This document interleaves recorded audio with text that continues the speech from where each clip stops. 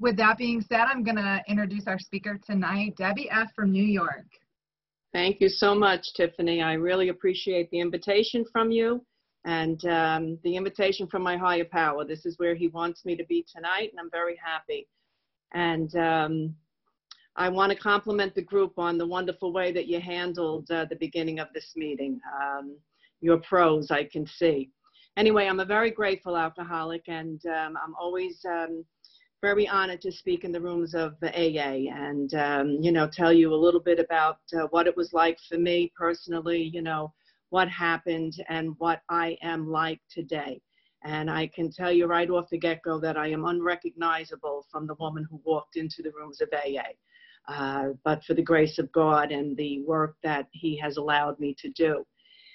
And I'm one of those people that feels that I was born as an alcoholic. And I also want to say, I see a few of my friends from New York on here, and I want to say thank you for your support. How nice.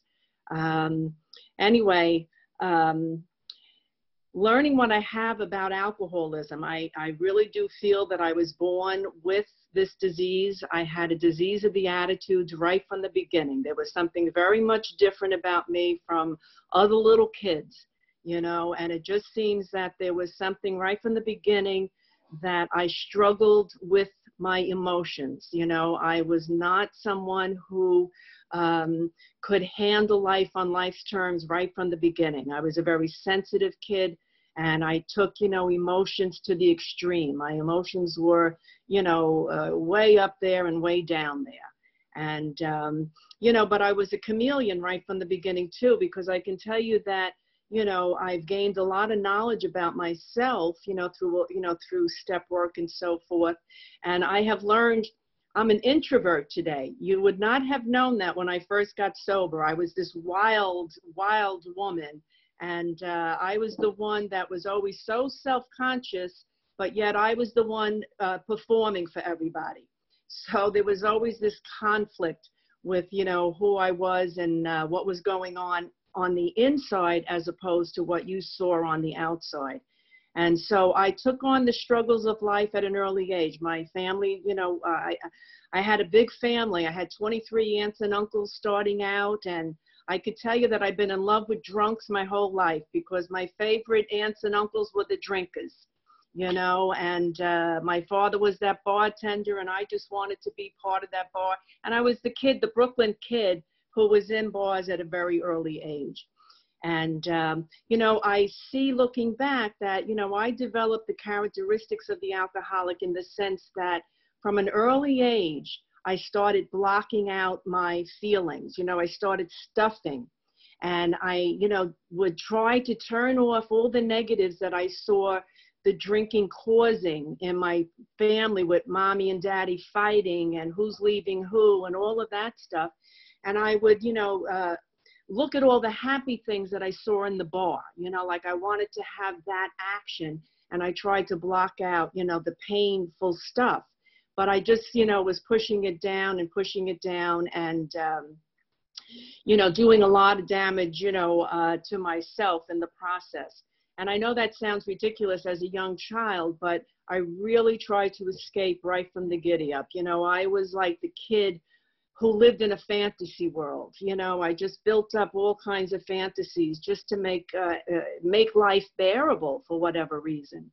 And um, you know, I was, you know, a kid that was exposed to the drinking world very young. I started drinking at a very early age, and it's, you know, remarkable to me today. Uh, but it was available. There was something in me that, you know, was looking for escape, and uh, and I went for it. And so, um, you know, my journey, my my disease of progression, you know, I was the one that, you know, I can't look back and tell you that at, you know, uh, as an, at an early age, I felt the ease and comfort of what the first drink did for me. I just know that, you know, I just wanted to be accepted and part of back in those early, you know, years. So I did, you know, I went along with the crowd, but it affected me differently, right, you know, right from the beginning. Uh, it affected me in the sense that um, I was always, uh, again, looking for escape, wanting to get out of myself because it was too painful. And, um, you know, really to speed it all up, I uh, wound up leaving Brooklyn, which was my, uh, where I was brought up uh, at 12 years old. And we went to a community where, of course, there was drinking, uh, and it was totally different from what I was accustomed to. And as you hear, you know, I took myself with me, and the disease of the attitudes were very prevalent at 12 years old. Um, uh, again, I had a mouth on me. My father used to be the one that would tell me all the time that mouth of yours is going to get you in a lot of trouble.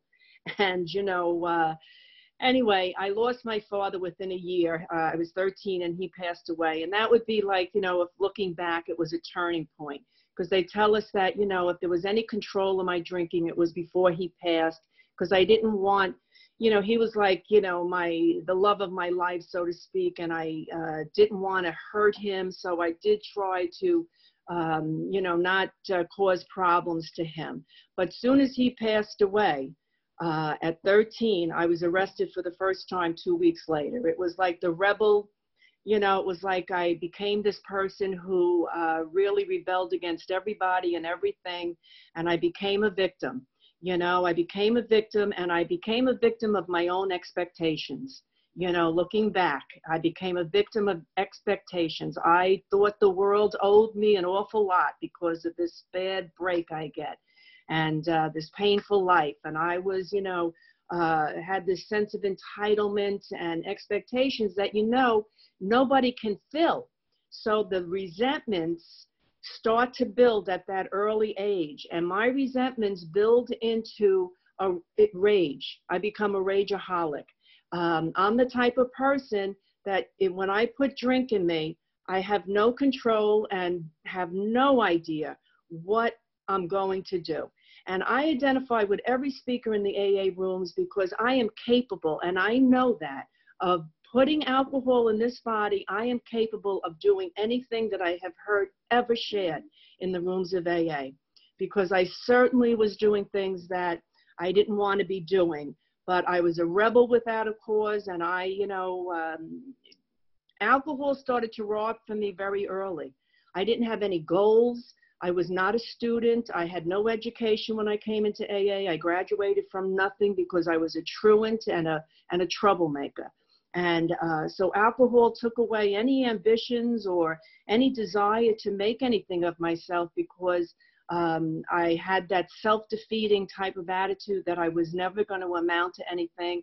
And so I, I went that route. I was the kid that, you know, or the young woman that drank and everything that I should have been proud of, I was ashamed of, and everything I should have been ashamed of, I had this proudness about. So I was getting very confused about, you know, life and how to live at a very early age. And the alcohol just fueled it all and, um, you know, put me into that state of uh, the four horsemen. You know, I was constantly in a state of frustration, terror, bewilderment, and despair. It was really uh, what I knew. It was what I knew. And uh, as you hear in the rooms, you know, uh, there's no escape. It was that constant, you know, vicious cycle of, you know, trying to escape from yesterday, you know, by forgetting today and then dealing with that morning scene on the bed. I always identify with that, the drunk on the bed, because that was me, you know, sitting on that bed in the mornings like, wow, how did I get into this one? And what am I going to do now? And, um, you know one of the one of my arrests i was arrested when i was 16 years old on an assault charge. And again because i had that rage and um, i reacted to life. You know we hear about how um, you know uh, i was the impulsive drunk. I was the impulsive person who didn't think before i acted. You know i always just was impulsively into things. And um, you know so i would do these things. I would get caught up in these jams and you know uh, on this particular arrest, it was the first time that I, the self centeredness of the alcoholic left me enough to really think while I was waiting. I had to spend the night because I had to go before the judge the next day. And I witnessed my mother being held up by two policemen because it was the first time she couldn't get bail. And um, I sat there thinking, and, and I've seen this in the big book, you know, with, with Bill so many times when he stood at that turning point. And this would be like the first turning point in my life where I would sit there and I would think about my poor mother and I would, you know, really say to myself, you know, I don't want to do this. I, I didn't want to be this person. I didn't want to treat my my mother, you know, and my family through this. Um, but I, I, I, couldn't know then that I had no defense against the first drink. And even though I wanted to change, I wasn't capable of it as long as I still was using the alcohol. And so you know, I, I remember thinking, you know, Debbie, you got to knock this chip off your shoulder. You know, I knew I had an attitude problem, you know, but everything else, you know, I was just trying to survive. So anyway, to make a long story short, you know, uh, the next day when I came out, you know, my mother and I were traveling home on the bus. She asked me to go to AA. And I could tell you that after spending all that time thinking about how I was going to change, when she asked me to go to AA, I jumped right down her throat, which was my usual MO, you know, because don't tell me what to do kind of thing, you know, and it was all because of fear. It was all, I wore all these masks, you know, you hear about the fight or flight kind of thing. And that was how I looked at, you know, that's how I dealt with life during those years when I had no tools. It was either run away from, you know, my problems, um, think about suicide, or you know um, fight the world you know like just uh, fight or flight that was it run away or fight everybody around me because i was in so much pain you know and we know we hear that expression hurt people hurt people you know so when my mother asked me i wanted no part of aa at that time and really what happened was um, you know, I became a promising alcoholic. You know, I'm always touched by the story about Bill W. when he used to write Lois little notes and he used to promise her that I'm going to get sober this time, Lois. I'm going to do it. And I used to write my mother these pitiful suicide notes, you know, like pour my heart out and oh, how I don't want to be like this and what's wrong with me. Put me away. You'll be better off. All this drama that went along with my drinking. And, um, but I did do that. I became this promising alcoholic that I was always going to straighten up and fly right and all of that. But again, I had no defense against the first drink. And I would have many times that I would think about going to AA because I, I was fortunate. I had knowledge of AA uh, because of family members and uh, meeting people when I was a kid who were in the program. And um, how, how I was actually, the plant was seated in a man's house uh, he was uh, sober 17 years when I met him when I was 12 years old. I hung out in his family home. And he used to, you know, have people in from AA when he celebrated anniversaries. And the people would come in, and um, it was always in the winter. And then my girlfriend and I would, you know, like uh, uh, serve coffee and listen to them. And we would say, How do these people stay sober? All they do is talk about being drunk, you know? So, but that is where the seed was planted. And the seed was planted for me. The program of attraction came with this one man who, um, you know, was drunk and he was too in, too ashamed to come in. But but this fellow that was celebrating Mickey was his sponsor, and he would show up. It was like he would just show up because he wanted to shake Mickey's hand. And I would watch the men of AA go outside in, in the winter and just go out there and shake his hand and talk, spend time with him. And that was the attraction. I was attracted to these men that, you know, cared that much about this, this guy that was drunk outside. And um, so the seed was planted. And uh, fortunately for me, I knew that AA was for alcoholics. But I, being a very self destructive personality, you know, uh, didn't want it then but I am one of the very fortunate that I did get it early. And um, so my life went on. I spent many lifetimes prior to coming into AA, even though I did all my drinking as a teenager. Um, I, you know, was always looking for people, places, and things to make me happy. I was, you know, men were my thing. I only hung out with men. I was not a, a ladies, uh, you know, person. I was uh, I drank with all the older men. Old men were my thing. and so I would sit in the old time bars and hang out with these men. I was sitting in bars at 16 years old. Um, and uh, my mother had no control over me. My mother would come into the bars and drink on the bar stool next to me because she had no control. And um, and so anyway, I, I led this life where I hung out with, you know, I tried to, uh, you know, uh, do the motorcycle thing, and then I tried to be a hippie in the '60s, but I was too angry, uh, so that wasn't uh, the way to go for me.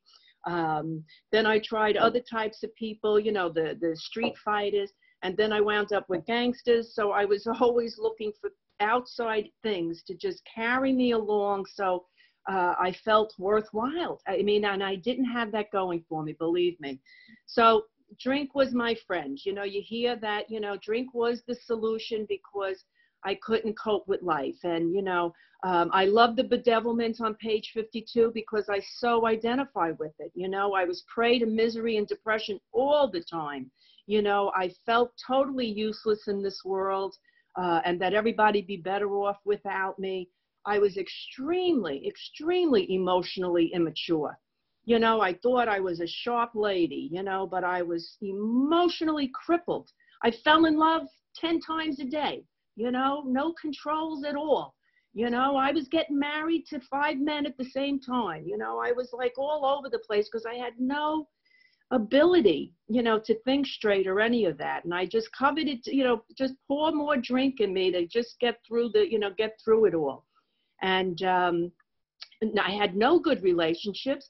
When you think about it, you know, I picked up drink before I was emotionally and physically involved with people. So I was a sick cookie going into things, you know, so I never had any kind of education on life's, you know, uh, growing up and having relationships with people and so forth. You know, I just, you know, um, I primarily was a giver. I was a caretaker, um, so to speak. I was a people pleaser and all of that kind of stuff.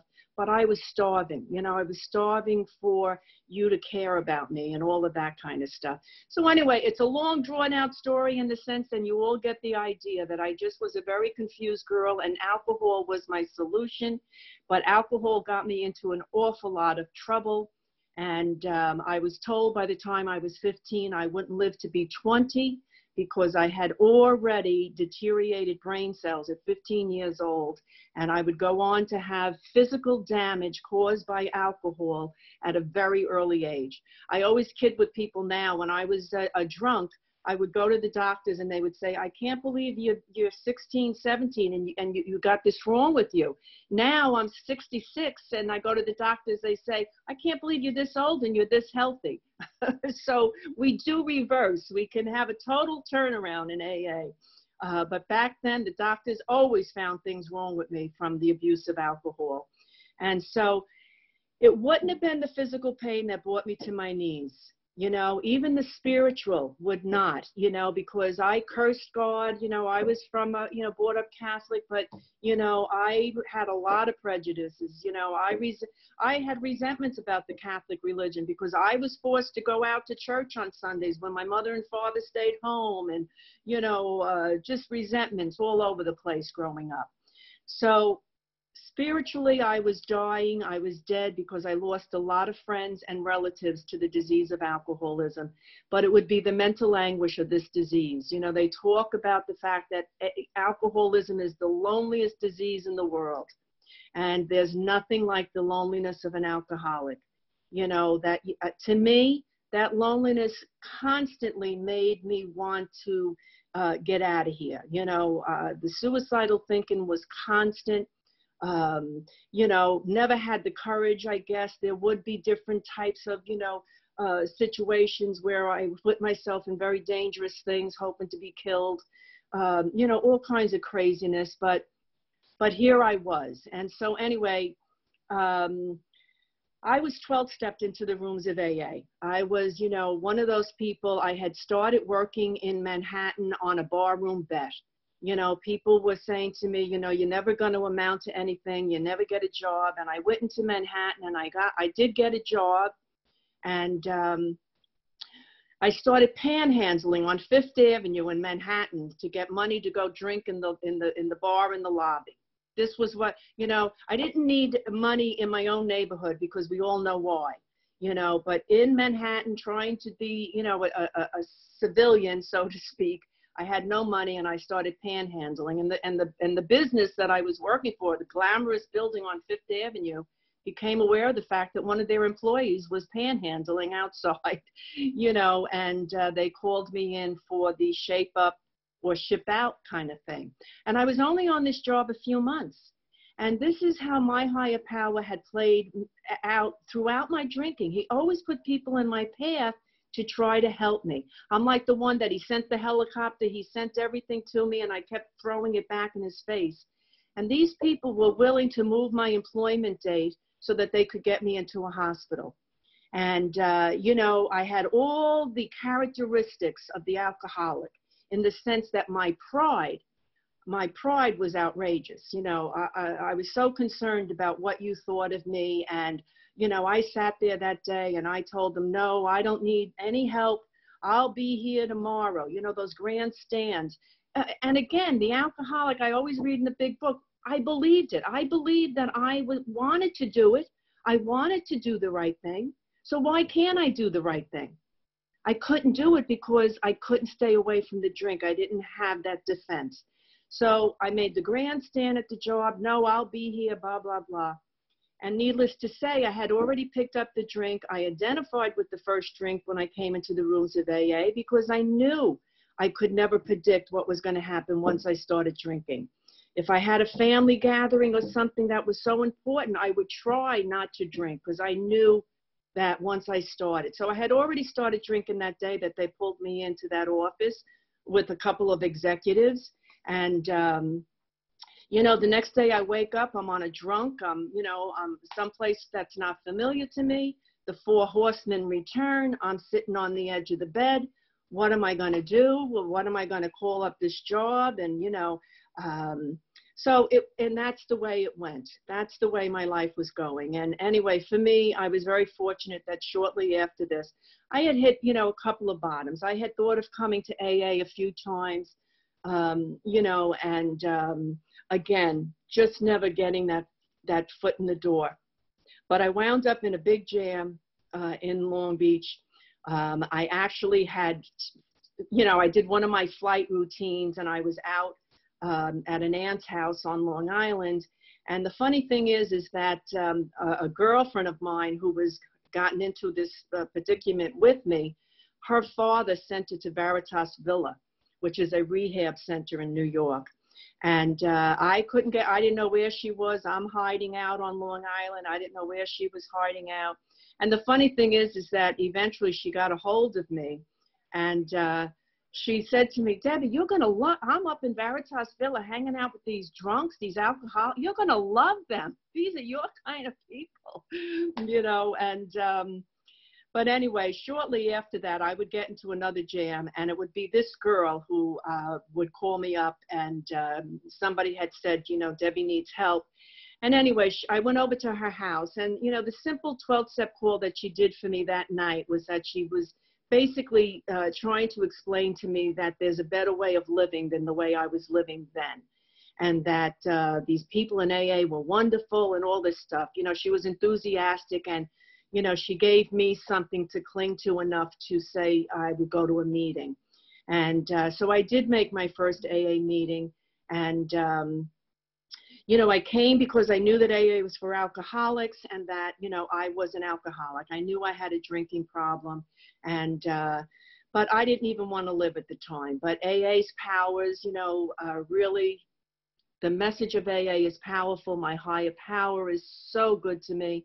And I came in and uh, I had one early slip where, you know, I came back on the little slogan that once you're an alcoholic, it's not going to get any better. I put down my last drink February 17th, 1975. So I am sober 45 years now, and uh, it is quite, quite a wonderful, wonderful experience. Um, but I got in my way an awful lot, and the journey was difficult. And I just want to share with you a little bit now about untreated alcoholism because when I came into the rooms of AA, it was very different. I very often I would be the only woman, and um, I became a two-stepper, and it saved my life. Um, I got involved with, you know, all the guys in early recovery that were doing 12-step work all over the place. Um, you know, we spent, you know, all the time going to rehabs and putting people into treatment and all of this stuff. And I got a great education. Um, I saw, you know, wet brains back in 1975 in the in the mental institutions and so forth, and and the drunk tanks. There were a lot of wet brains. And somebody said to me one day, you know, a wet brain is simply somebody who went into a blackout and never came out. And I said, wow, that is something, because I was a blackout drinker from the very beginning. And um, I never could, I couldn't differentiate real from fake uh, at all when I first got sober uh, because I um, had other problems and I hallucinated a lot. So I really couldn't get things straight. So the first, you know, the first thing that I had to do, the first message I got in AA was certainly that I had to put down the drink. I didn't have a shot in hell if I was going to continue drinking. So, you know, the first thing was to surrender. God gave me the gift of desperation. He gave me that gift of willingness to to put the drink down. And then as I said, AA gave me a purpose for living right away. It saved my life.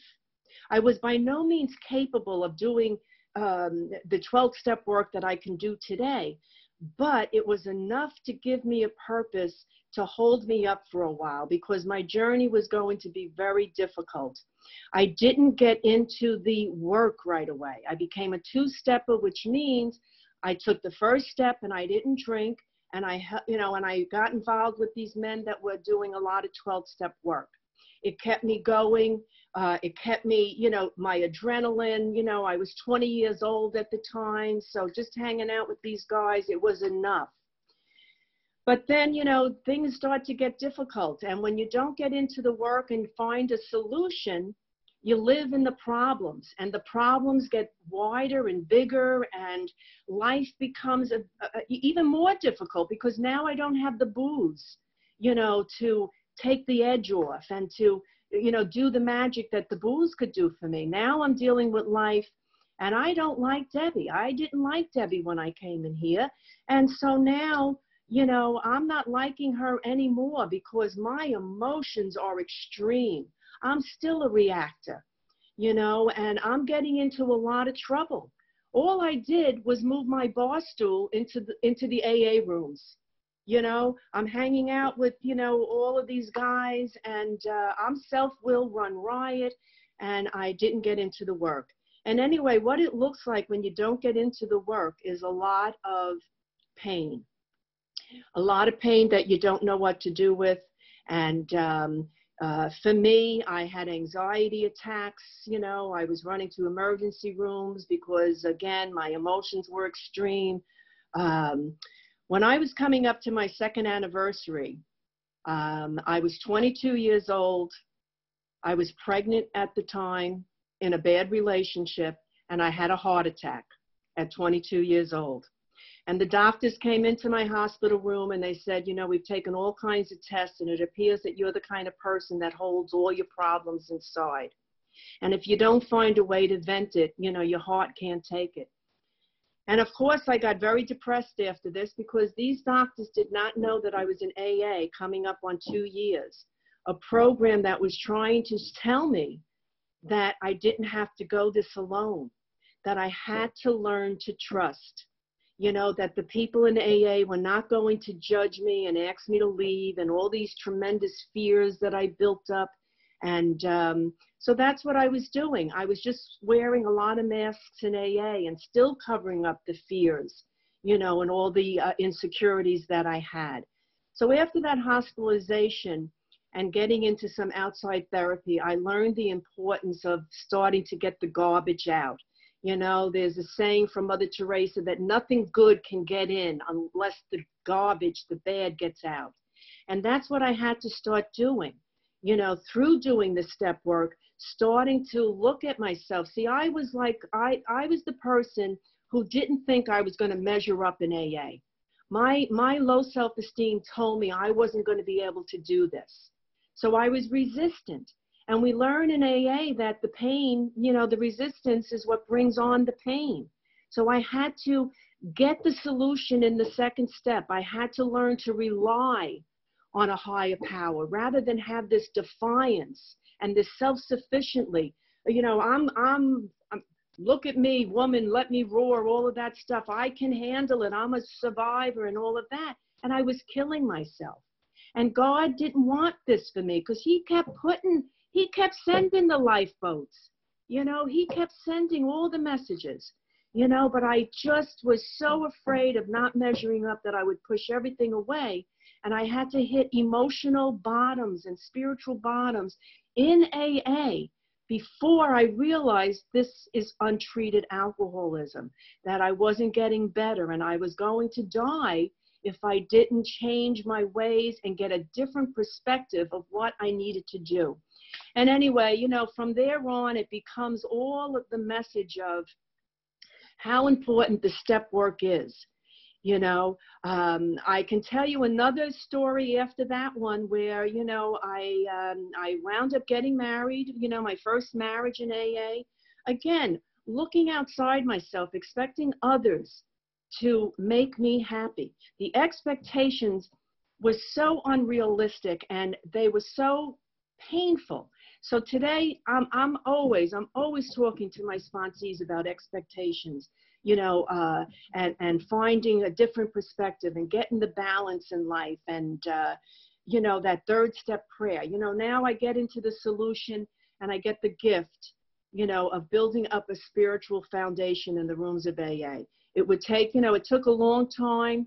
I, uh, the, the, the, I was sober six years when I would go on to lose my third pregnancy. And, uh, you know, I grew up with this, this great want of just being a mother. I had a great maternal thing. And, um, you know, I know that it was part of my low self esteem. It was a thing of wanting to be loved, kind of thing.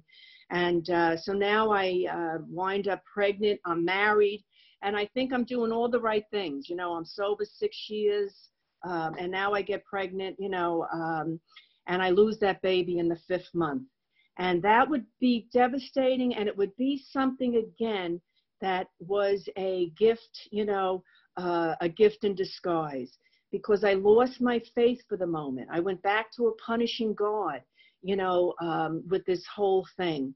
And I didn't want to drink but I fought getting on a bus and becoming a bag lady, you know, because that looks simpler to me than this sober way of living that's just not meeting my demands. you know, it's like the thing in the third step where I'm not getting the healthy children. I'm not getting all the uh, the bells and whistles. And so now I want to re- do the real runaway and become a bag lady. You know, because then I have no responsibilities and so forth, you know. So how crazy, but that's where the alcoholic mind will take me, you know, because the disease centers up, you know, up here and it's the one that's going to, you know, get put me in danger of picking up the drink. But luckily for me, I had a good foundation in AA and the people around me could see what was going on and they started to get build my faith back. You know, I had friends that would call me up and say, read page such and such at a God calling, or, you know, whatever spiritual readings I did, you know, and I built my faith back. And then I went on to have my beautiful AA baby, who's now 37 and a proud member himself of AA. so we have no control over who gets this disease. But the good news for us here is that our loved ones know about us, you know, and that we're sober people. So um, I went on to have that baby and, uh, you know, many, many ups and downs through the years, but eventually the steps were to come into my life and become my foundation. And they, that happened really, truly when I got into the big book. The big book was not a big component when I first came into AA. Uh, we didn't even have step meetings in 1975. You had to search them out. Um, so I didn't get into the big book right away, but a new journey began for me. And again, it was uh, because of my passion for AA. I truly got into the big book because all my sponsees were starting to get into this new movement. They were getting into the big book. And because I wanted to continue to be a vital person, you know, and a vital channel for my higher power, I said, I got to get on board. And I started going to these big book roundups and, and doing uh, big book studies and all of that kind of stuff. And I could really wrap up, you know, all the 12 steps for you very simply because, you know, I, uh, again, just gave you a little bit about, you know, one, two, and three, that I did have the surrender that I needed in the first step and eventually the pain uh, was the, the, was the motivator um, and I had I got the willingness. You know, I love that one line in the in the we you know, are you willing to believe? You know, do you believe and are you willing to believe? It covers everybody. You know, you just have to be one of those willings. So I was willing, and so my faith came, and uh, I had the second step, and then the third step you know, is a daily, you know, uh, daily decision that I make, so forth and so on um, uh, you know, I I memorized, you know, uh, the third step prayer, and that's up here. And I have many things that sponsors have given me through the years to memorize, and they're part of my intuitive thinking. You know, so uh, when something comes up, my intuitive thinking really does give me these beautiful solutions, and that's the difference today. Years ago, we didn't live in the solutions. We we there was a lot of camaraderie and pain in early, in my early you know we we we we we talked our problems for hours at a time but nobody was talking solutions. And that's the difference today of the big book recovery is that now i can tell my girls when uh, you know somebody's going through something oh it sounds like you know uh, we agnostics you know that chapter because we can find the solutions so, you know, I have the third step, and then, you know, there's, I learned along the way, and I love this, that there's four impediments that keep me out of the sunlight of the spirit. The first impediment is a resentment. I'm not willing to give up. The second impediment is a secret. I'm not willing to tell. The third is a vicarious thrill I'm not willing to give up. And the fourth is a restitution that I'm not willing to make. So right there was the fourth through the ninth step. I have to get rid of those resentments and fears and do those inventories. I I'm as sick as my secrets. I got to get those secrets out. Vicarious thrills are going to get me into trouble with those defects. So six and seven, get rid of the vicarious thrills. They they cause problems. Uh, restitution, you know, that's a gift we give ourselves. When I first came into AA and you talked about amends, ah, I was highly, you know, I thought if I gave my family the 12 steps and they worked them, I'd be fine, you know, but the steps weren't there for them. I got to do this work. So I make the restitutions. Now I get to live in the glory of my higher power in 10, 11, and 12. And I truly am a person who believes in this.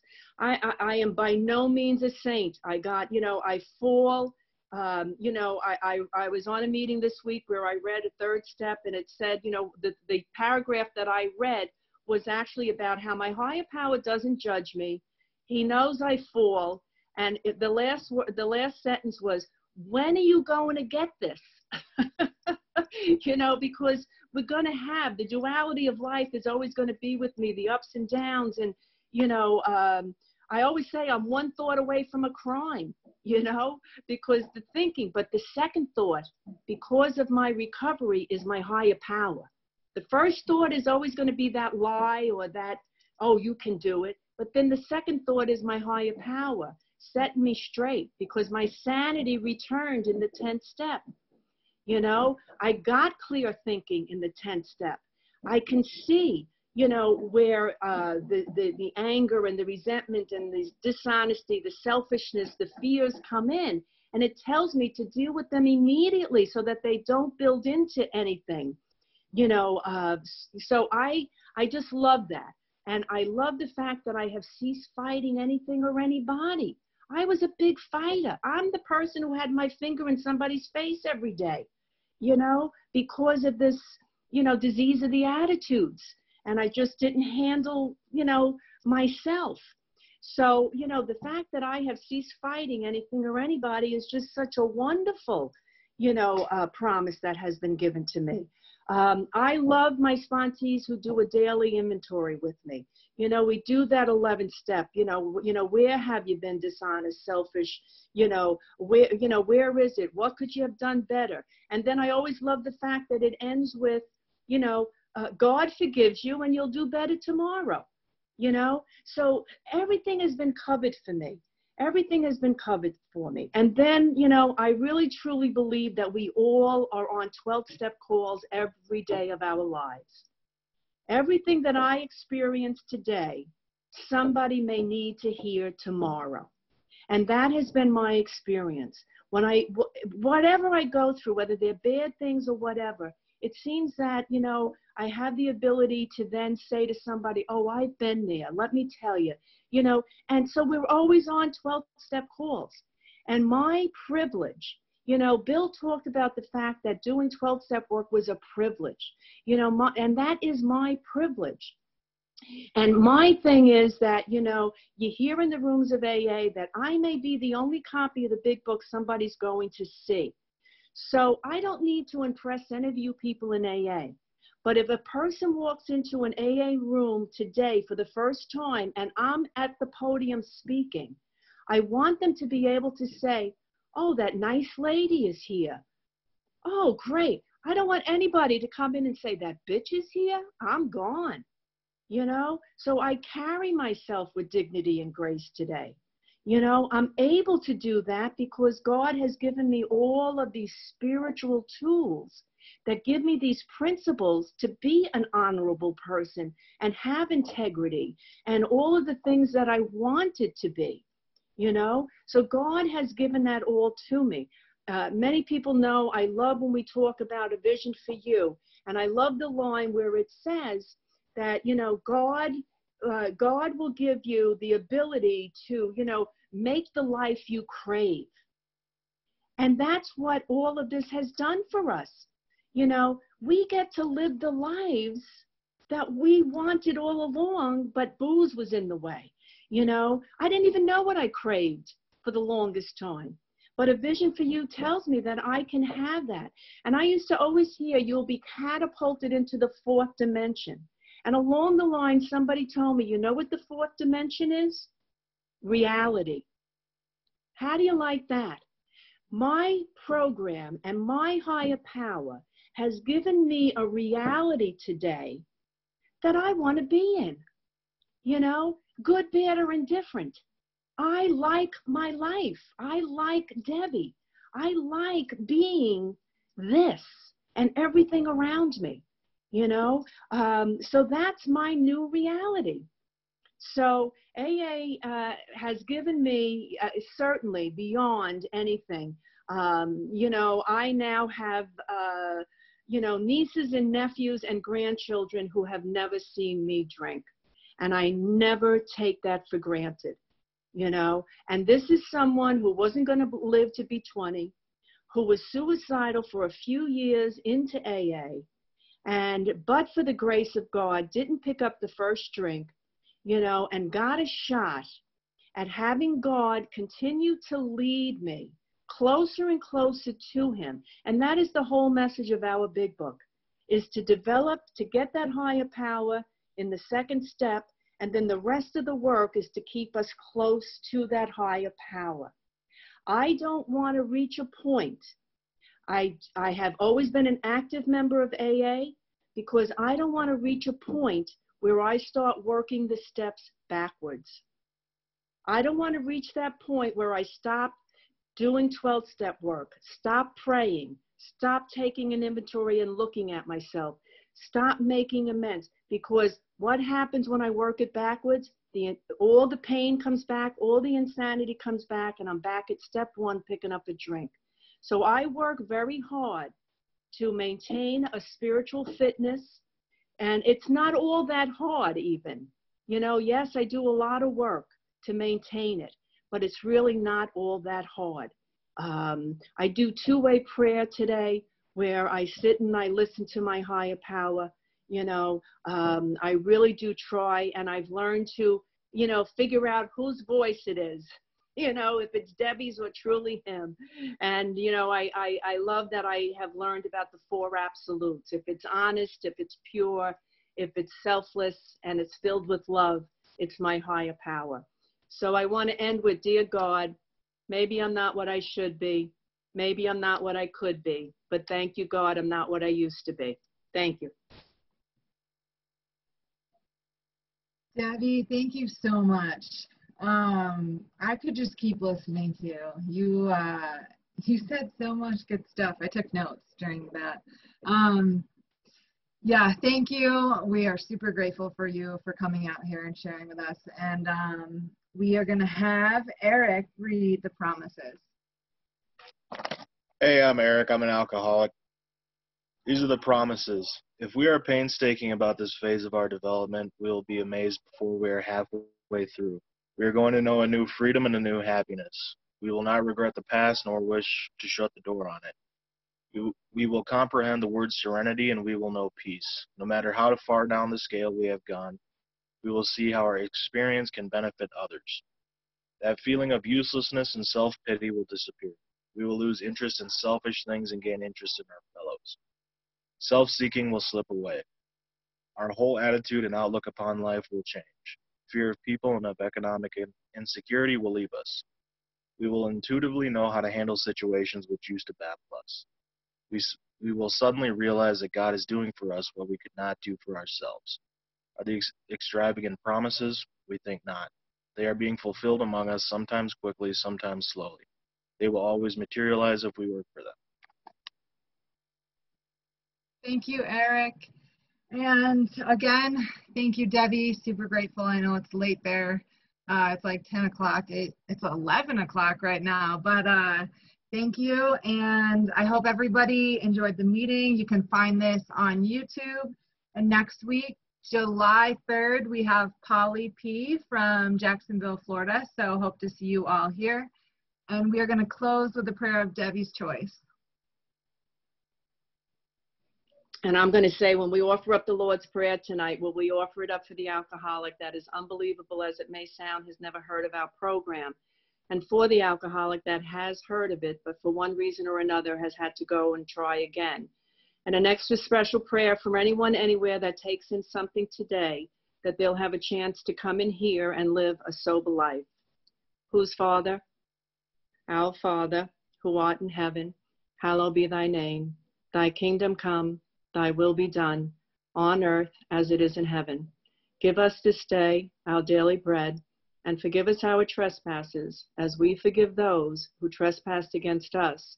And lead us not into temptation, but deliver us from evil. For thine is the kingdom, the power, and the glory forever and ever. Amen. Thank you all. Thanks, Debbi. Have a great night. Thanks so much, Debbi. Great. Thank you. Jesse, thank you. You touched my heart. I could